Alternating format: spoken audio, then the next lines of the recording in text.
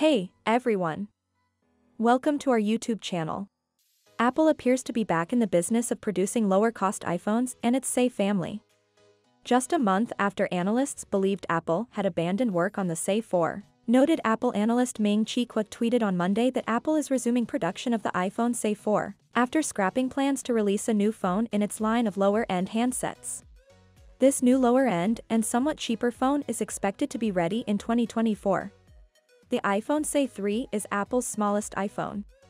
Housed in the body of an iPhone 8 with thick bezels Touch ID in the home button and a 4.7-inch display, the iPhone SE could really do with a bit of modernization to bring the device up to date with the rest of Apple's lineup of iPhones.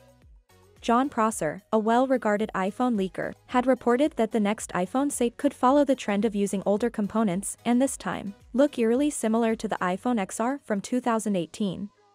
If this was to be the case, then the iPhone SE 4 would get a full-screen makeover alongside a 6.1-inch display.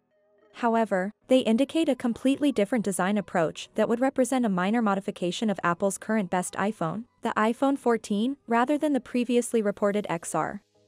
For the more hopeful in us, the end of the iPhone mini line could have been a great reason for Apple to use the iPhone mini design as an iPhone SE 4, making the device fit the needs of those that want a smaller phone as well as those looking for a budget option. There are multiple rumors circulating around the size of the device, with Kuo believing that the iPhone SE 4 will be 6.1 inches similar to the iPhone 14. The iPhone 14 has an OLED display with 1200 nits of max brightness alongside HDR, and a P3 wide color gamut. If the SE 4 were to include this display, it would be a vast improvement over the current model, bringing the device in line with 2023 smartphones. If Apple goes the route of an iPhone 14 Lite, then OLED technology is more than likely to appear in the SE lineup. As the current iPhone SE is the only iPhone still on sale with an LCD display, it will be interesting to see if Apple chooses to go with a lower price point by ignoring the option of OLED altogether.